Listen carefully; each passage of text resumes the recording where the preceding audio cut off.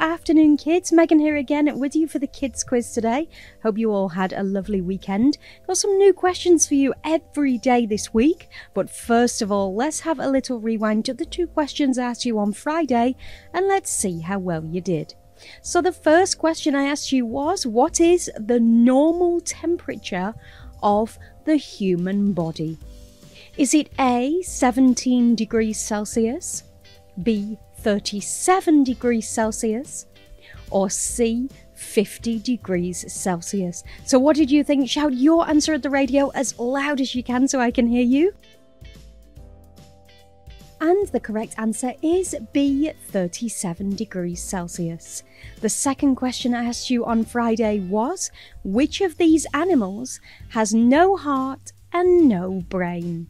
A. Snakes, B. Frogs, or C. Jellyfish? And the correct answer is C. Jellyfish. New questions for today. Jellyfish are made up of approximately what percentage of water? A. 80%, B. 75%, or C. 95%.